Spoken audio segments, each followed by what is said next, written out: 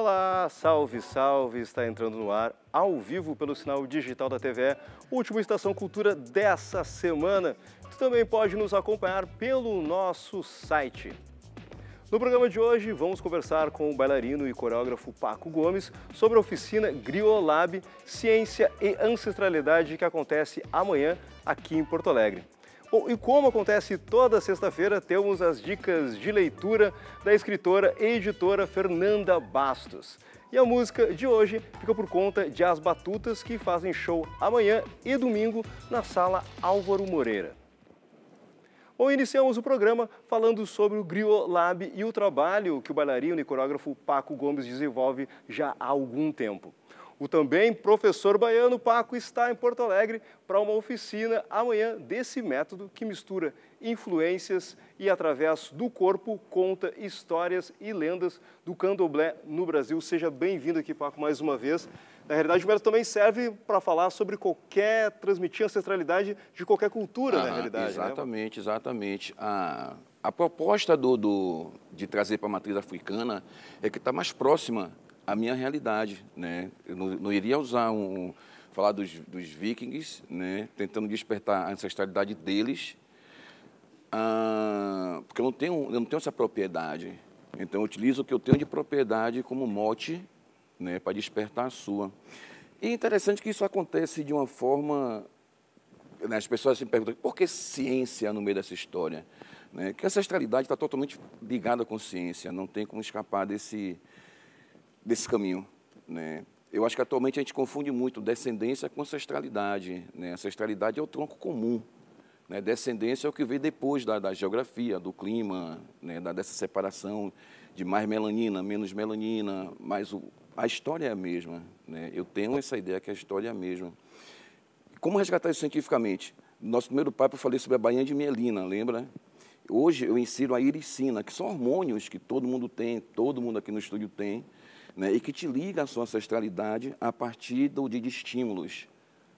Né? Ah, como, por exemplo, eu uso um exemplo muito, muito, muito simples, que é o seu nariz está no meio da cara, como o dela está no meio da cara, como o dele está no meio da cara, como o dele está no meio da cara. Os olhos estão fazendo a moldura do nariz. Então, a nossa história é a mesma, a nossa, nossa ancestralidade é uma só o que confunde são as descendências. O Guilherme vem, vem tentando, nesses dez anos, ah, não provar essa teoria, mas está tentando dinamizar um pouco mais essa, essa, essa opinião que a ancestralidade ela é um tronco comum e as descendências é que bifurcam esse tronco. Então, parte também de uma ideia de uma memória do corpo, uma memória comum que o próprio Exatamente. corpo tem também, e trabalhar esses aspectos culturais contar através desse corpo. Uhum, exatamente. Afinal de contas, um corpo sem alma é um cadáver, uma alma sem corpo é um fantasma. Não existe um sem o outro, né? E o corpo é a nossa antena, cara. É a nossa única realidade de conexão universal, é o corpo. Bom, e esse estudo começou fora do Brasil, né? É. Começou no, lá é, onde... Eu comecei na Universidade de São, na, na San Francisco State University, na Universidade Estadual de São Francisco, há 10, por, por incrível que pareça, agora em agosto faz 10 anos né, há 10 anos atrás com, com estudantes problemáticos, estudantes que não tinham noção da identidade cultural deles próprios. Né? Eram chineses que queriam ser, ser negros, negros que queriam ser brancos. Né? Aí, o, o método começa como forma de resgate dessa, dessa rapaziada. Bom, e falando também na questão da dança afro, também tem mais uma vez o apoio da companhia de dança do Daniel Amaro, ah, não, né? Daniel Amaro é assim, um, um, eu chamo, Daniel Amaro hoje ele é um dos, dos mentores do Grill Lab. Né? Ele fez o curso, ele, ele, ele, é, ele é licenciado para dar o curso. Ele tem a formação do Grill Lab, ele foi para a Bahia, fez a formação lá. Eu fiz a primeira formação aqui o ano passado, né? mas ele está sempre assim, ele sempre me chama para trabalhar. Era para ele estar tá aqui, na verdade. então, mais uma vez, o Paco chegando a Porto Alegre, pessoal que já teve alguma uh, iniciação já no Griolab e outro momento agora vai aprofundar um pouco mais nessas dinâmicas, nessas ideias, nessas teorias e também nessa prática de dança, ciência e ancestralidade, amanhã das nove da manhã até a uma da tarde, no Casinha K. Ponto, na rua Olavo Bilac, Olavo Bilac 714. Inscrições podem ser feitas no local na hora, chegando um pouquinho mais cedo e te inscrevendo para participar dessa oficina aí. Paco, mais uma vez, satisfação em oh, te encontrar minha. aqui e até a próxima. Bom aí, ver de novo, meu irmão. Voltando do Rio Grande do Sul, passo por aqui sempre, Pronto. Bom, amanhã e domingo na Sala Álvaro Moreira, as tubas exploram as sonoridades acústicas e a essência da terra e da madeira. O espetáculo tem como tema a obra Mugido, da poeta Marília Cosby. E a gente confere agora uma música, na sequência a gente conversa com elas sobre isso, e sobre esse espetáculo, e sobre como, essa, esse, como acontece esse cruzamento da literatura com a música delas. Por favor, com vocês, Tuvas.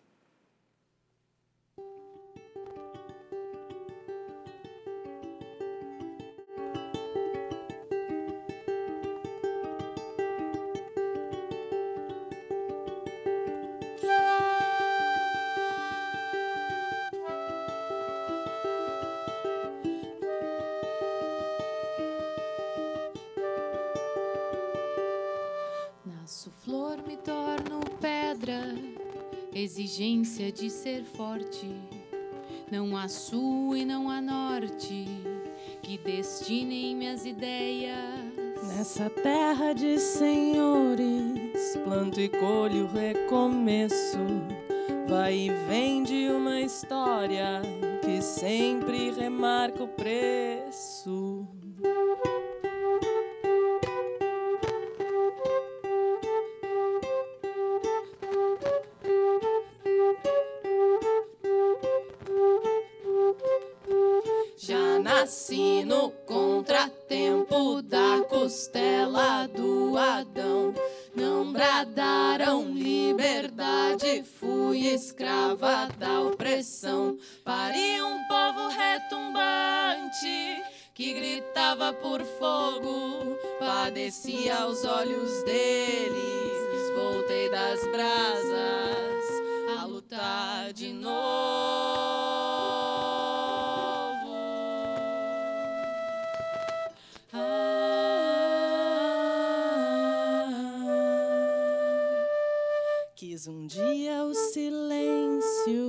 pra no peito um descanso mas a paz eu não alcanço se a palavra não gastar.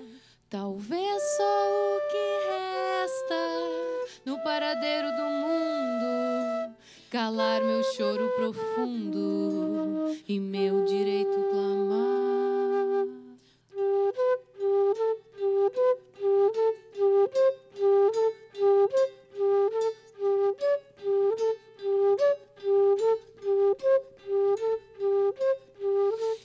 Nasci no contratempo da costela do Adão.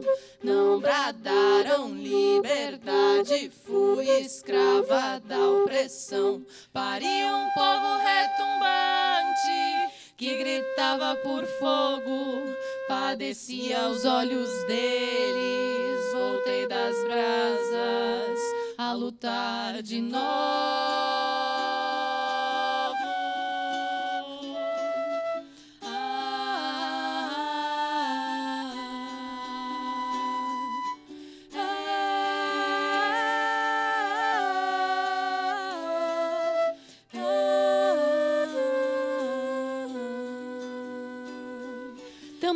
Brotei do ventre da pampa.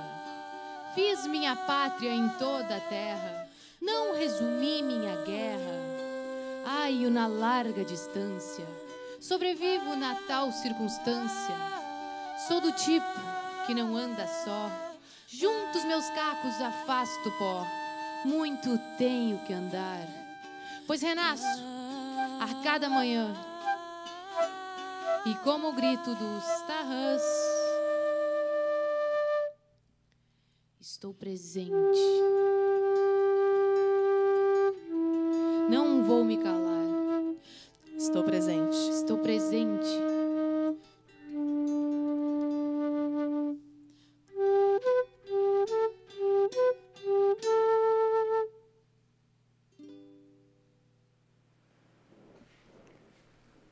As tubas seguem conosco. Daqui a pouco a gente fala sobre o espetáculo Mugido, com sessões no sábado e no domingo. Agora nós vamos às dicas literárias da jornalista, escritora e editora Fernanda Bastos, já que a gente tem um certo link literário já musical. Com o livro está aqui na minha, nas minhas mãos, daqui a pouco as gurias vão falar um pouco mais sobre o espetáculo e também sobre as referências que estão no livro.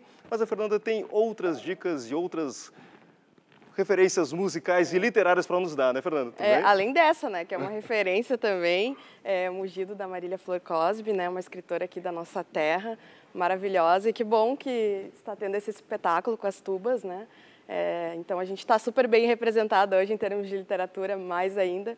E, uh, bom, para seguir falando de mulheres fortes, né, é, eu queria uh, dar uma, né, relembrar uma notícia que está circulando pela cidade, bem importante, né, que é esse recebimento uh, para né, essa iniciativa da Universidade Federal do Rio Grande do Sul, né, da URGS, que vai conceder o título de doutora honoris causa para Elza Soares, né, essa cantora que já tem aí 80 e muitos anos. A gente não sabe ao certo uh, se fala que é 81, 87, tem uma certa mística aí com relação à idade dela, mas o importante é que ela está produzindo há muito tempo, né, pelo menos aí desde os anos 40 ela se apresenta, né, teve aquela apresentação que é já é, histórica, né, um episódio é, bastante relevante da vida dela, né, na qual ela se apresentou lá e o Ari Barroso perguntou uh, na Rádio Tupi uh, de, da onde ela vinha, né, uma menina é, cantando com aquela força e ela disse que vinha do planeta Fome, né, falando por muitos brasileiros que naquele momento é, de muitos discursos, né, sobre industrialização e tal, ela denunciou um Brasil que era da maioria das pessoas, mas que não costumava ser tão é, revelado. E é esse o tipo de trabalho que ela vem fazendo, né, que tem sim muitas conexões com a literatura, né, que aparece também nos trabalhos é, para a gente pensar, né, de Dalia Vieira, de várias poetas negras é, e mulheres como um todo, né, essa representação da mulher que ela vem trazendo no trabalho dela. E houve toda uma movimentação lá dentro da URGS, especialmente é, por meio do é, Instituto de Artes, né, as professoras é, Celina Alcântara e Luciana Praz trabalharam, né, fizeram todo um dossiê que foi levado a outros professores que também encamparam essa, essa premiação, né, essa, esse reconhecimento, melhor dizendo, não é uma premiação, é um reconhecimento, né, eh, para Elza Soares, que vem num momento bem importante também, porque ela está lançando é, uma biografia escrita pelo jornalista Zeca Camargo, e aí vem a dica do livro também, né, é, essa biografia vai retratar justamente essa vida da Elza Soares. Eu falei um episódio que eu acho super interessante, eh, mas, bom, há pouco a gente teve aqui uma apresentação dentro do palco giratório do musical Elsa, que também trazia momentos da vida dela, né, muitos altos e baixos, momentos de reconhecimento, de esquecimento, né, várias violências que ela sofreu, a pobreza, o relacionamento com Garrincha. Então, só dando uma passada por cima, dá para ver que é uma vida muito interessante e que está, então, nessa biografia.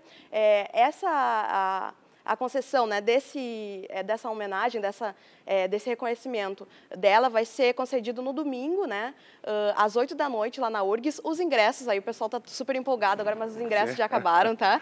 Não, não é possível. Vai ter depois é, uma conversa dela com o José Miguel Wisnik, né, eles vão é, abordar temas das obras deles, né, dele como músico e escritor também, vai fazer um, uma conversa com ela. E depois disso uh, vai haver esse autógrafo, nessa né, sessão de autógrafos, a Livraria Baleia, que é uma é, livraria já muito vinculada né, com essas escritas, narrativas de mulheres, vai estar lá promovendo então essa sessão de autógrafos desse livro editado pela Leia, né, e assinado pelo, pelo Zeca Camargo, mas a Elza Soares, como é retratada, vai estar lá, é, então, uh, concedendo esses autógrafos e quem não, né, não conseguiu esses, essa, esses ingressos para participar dessa concessão do, da, da homenagem para ela, pode ir no show, que ainda tem ingressos, tá? já está acho que no terceiro lote, o show da Elza Soares acontece no sábado, ali no Opinião, às 8 da noite, então dá para conseguir os ingressos e conferir o trabalho dela também, então essa é a nossa dica de literatura numa semana que foi muito musical, né? E só para dar um, fazer um adendo para quem não conseguir ir ao show e não conseguir estar tá lá na cerimônia eh, da, da Elza Soares, pode adquirir o livro também que está na própria Baleia ou em outras livrarias também e conhecer um pouco melhor da história dela. Continua. É, eu falava que a semana foi bastante musical na literatura, né, nos livros, porque a gente teve a maior premiação em língua portuguesa, que é o Prêmio Camões, concedido ao Chico Buarque, né, que, claro, tem uma produção literária, né, vários romances, é, peças de teatro que ele escreveu em parceria também, né, com parceiros, mas é claro que o grande patrimônio que a gente geralmente atribui a ele é o trabalho musical, né. Então, é importante a gente ter esses momentos de vincular, né, tanto a poesia quanto é, a prosa a, a esses movimentos musicais, porque realmente estão muito mais próximos do que às vezes a gente pensa, né? Então foi importante esse reconhecimento também e a gente registra. Então é, duas pessoas, né, ícones da nossa música, pessoas que enfrentaram é, muita, muitos movimentos contrários à sua arte livre, né? E que recebem reconhecimentos válidos e que aqui a gente aproveita o momento para lembrar e para dizer para as pessoas que uma dica é conferir é, essas pessoas que vão aí palmilhando os caminhos para as novas gerações, as outras pessoas poder, poderem produzir também no nosso país, né? Super representativos para o momento que a gente vive também, sempre muito importantes uh, na luta pela democracia e para a gente pela livre expressão. Lembrando que o Antônio Rolfo esteve aqui conversando conosco antes de ir para a cerimônia de premiação, porque ele fazia faz parte do júri. Então, vez o Antônio Rolfo estiver vindo aqui, seja bem-vindo a voltar ao programa, falar um pouco sobre os bastidores do Prêmio Camões. Mas isso a gente vai ver se a gente acerta gente na sequência. Fernanda, obrigado pela tua presença aí, obrigado pelas dicas aí, dicas um bom fim de todo mundo. práticas para o próprio final de semana também, né? Muita coisa para ler. Então, até semana que vem, Fernanda. Bom, a gente vai agora para um rápido intervalo. Antes, eu tenho algumas dicas também. No domingo, a partir das quatro da tarde, tem a apresentação do espetáculo ao ar livre de bonecos de luva do grupo Trupe de, de Trapo. Bom, na Praça João Paulo I, na Vieira de Castro. Outra dica é que inicia amanhã o Seminário Internacional Performance, Cena e Contemporaneidade. A programação completa do evento, que marca os 15 anos do Núcleo de Experimentação e Expansão da Linguagem Cênica, o Grupo NIELIC, pode ser conferido pelo Facebook. Agora sim a gente faz um pequeno intervalo rapidinho e volta com mais música das tubas.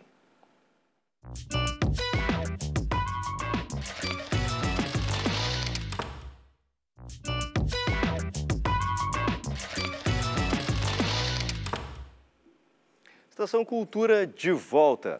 A presença indígena no Estado é tema da mais nova exposição do projeto Mês a Mês na História do Memorial do Rio Grande do Sul. Com entrada gratuita, a mostra Índios no Rio Grande do Sul, uma história de lutas, dificuldades e resistência, traz documentos do século XVIII sobre as relações com os povos originários. Entre passado e presente, ações que se repetem.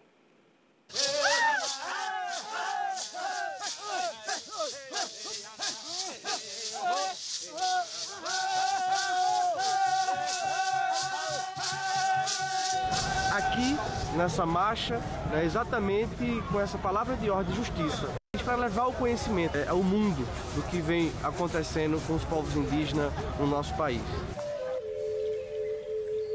De acordo com o IBGE, há cerca de 900 mil índios no Brasil, divididos em 305 etnias. O crescimento dessa população a partir dos anos 70 aumentou os desafios. A transformação social enfrentada por eles ainda não é bem compreendida. Entre as consequências do passado colonizador e o presente, a história tem papel não apenas de registro, mas de justiça. A história, a historiografia, ela não tratou o índio com, com justiça, mas como a historiografia e a história são muito dinâmicas e ela depende dos seres humanos, cada vez mais essa situação se modifica. Para essa modificação, projetos como o do Arquivo Público do Estado são essenciais.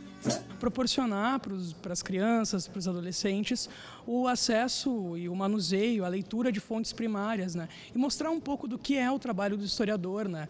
Tentar contextualizar esse trabalho, demonstrar que o trabalho construído pelo historiador, ele não vem da cabeça do historiador, ele vem de documentos.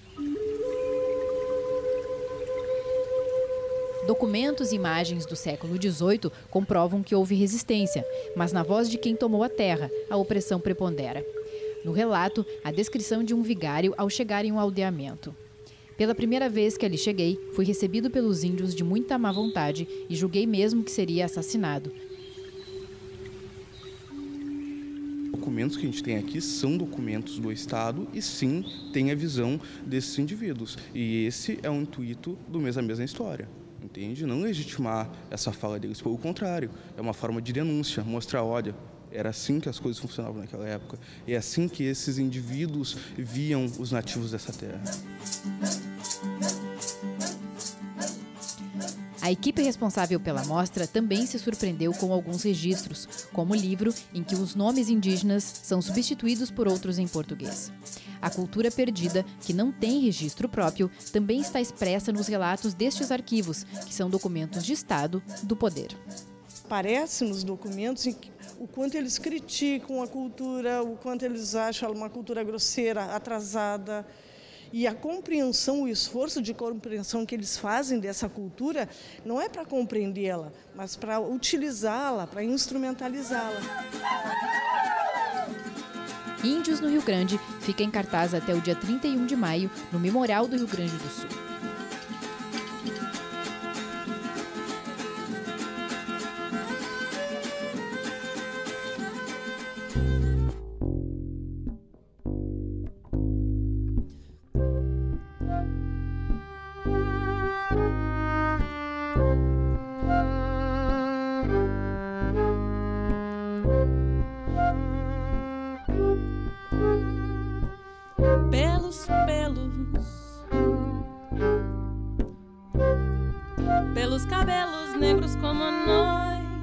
O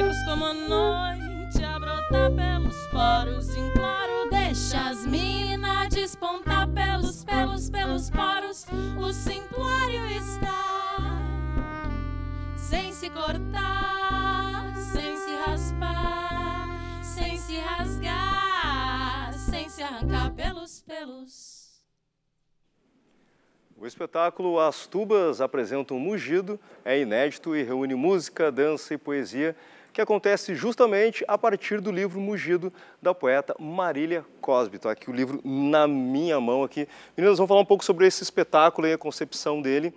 E tem muito a ver com a concepção do grupo, né, na realidade, né? Sim. É, a gente conheceu a obra do Mugido há um tempo atrás e se emocionou muito com esse livro, porque ele fala da presença feminina nessa cultura agropastoril, né, que tem tudo a ver com a tradição regionalista gaúcha. E, e, fala sobre a simpatia assim com a natureza a partir dessa desse olhar feminino, né? Uma empatia e uma alteridade com, com, a, com, as árvores, com as flores, com os animais fêmeas, com as vacas, com as cadelas. E aí, em poesia, a gente ficou muito tocada por tratar esse tema assim, né? A Marília, com grande conhecimento, ela também é antropóloga. Particularmente tu, né, que tem uma pesquisa já direcionada a esse caminho, né? Sim, total. E a influenciei as gurias também, mostrei o livro para elas da Marília e acho que todo mundo também é, sentiu assim fortemente o livro, né? Porque a gente vive num estado também que onde essa cultura está muito presente, né? Cultura agropastoril, a cultura patriarcal. E aí a gente resolveu trazer, trabalhar esse livro, essa, essa temática na, no espetáculo. Também vai ter outras releituras de músicas que conversem com essa narrativa. Também músicas nossas. Tem duas músicas que a gente compôs, que até a gente vai tocar daqui a pouquinho. Uma delas, que a Mariana compôs também do poema do, do, do Mugido. E também é um espetáculo multiartístico, né? Tem a dança também, que a Emily faz parte. Pois é, não estão aqui é, entre com vocês a Emily Borghetti e a é. Giovanna Mottini, né? Isso. Isso. Uhum. E a Emily traz essa influência da dança, assim, ela é bailaora flamenca, né? E também já de uma forma desconstruída também, as, as coreografias que ela traz, dentro dessa temática, também toca o bumbo legueiro, as castanholas. E é isso, a gente tem muitas surpresas nesse novo espetáculo, espero que todo mundo vá lá. Bom, falando da questão da musicalidade, né? Vocês uh, juntaram o grupo, cada uma de vocês tem um trabalho que desenvolve como musicista, mas o grupo acaba direcionando a musicalidade. Dá para dizer exatamente que ritmos vão sendo compostos, vão ser apresentados, de que forma essas músicas, enquanto elas estão no formato música, elas são apresentadas? Dá para um caminho por aí? Como é que funciona, meninas? Eu acho que a gente pode falar da temática e da instrumentação, assim, eu acho que é isso que a gente pode dizer. A Giovanna Motini, que não está aqui, toca violão. A Emily, como a Clarissa falou, é bailaora, toca castanholas, bombo legueiro, a gente tem contrabaixo, violino, ukulele, teclado, flauta, assim, é são muitas sonoridades. Eu não sei se a gente teria como definir algo assim mais em termos de gênero ou estilo musical, sabe? A gente passa por milongas, chacareiras, ritmos que são considerados, né, regionais, muitas vezes de forma desconstruída, com harmonias um pouco não convencionais. Daí daqui a pouco entra uma influência pop no meio do uhum. repertório, assim, é uma coisa bem do momento, assim. É, e esse espetáculo tem a diferença também que a gente, no espetáculo convencional, a gente usa, faz uso de bastante sons eletrônicos e esse vai ter uma sonoridade mais acústica, mais da madeira mesmo. Para retomar essa relação mesmo com o, a, a, estética que o livro traz. Uhum. Pois é, é justamente isso, né? A partir de uma ideia mais de uma coisa mais orgânica, mais isso. próxima da Terra, construindo essas relações também para um, um, espetáculo todo ele pensado dentro da temática, né? tudo uma, construído. Inclusive, você tem figurinos novos para esse espetáculo também, isso? Sim, temos. É. é no, no, espetáculo, normalmente a gente usa preto e agora a gente veio para os tons terrosos um pouquinho. Excelente, então. Clarissa, Morena e Thaís, obrigado vocês pela presença de vocês aqui, certo? Obrigada. Então, lembrando que o espetáculo As Tubas Apresentam Mugido, da Marília Flor Cosme, é amanhã e domingo, e tem duas sessões nesse final de semana, sábado e domingo, sempre às 20 horas, na Sala Álvaro Moreira, aqui no Centro Municipal de Cultura, na Avenida Érico Veríssimo, número 307. Vou devolver o livro aqui, para que vocês possam fazer a próxima música que tem intervenção poética também. E o Estação Cultura de hoje fica por aqui, desejando a todos um ótimo final de semana e lembrando que a gente volta na segunda-feira a partir das duas da tarde. Durante o final de semana, tu pode rever alguns programas que tu ainda não viu ou buscar as coisas que tu gostou na nossa playlist lá no canal da TVE, no YouTube. E hoje à noite a gente ainda tem uma representação às nove e meia. Então com vocês agora as tubas e bom final de semana a todos. Obrigado, Gurias.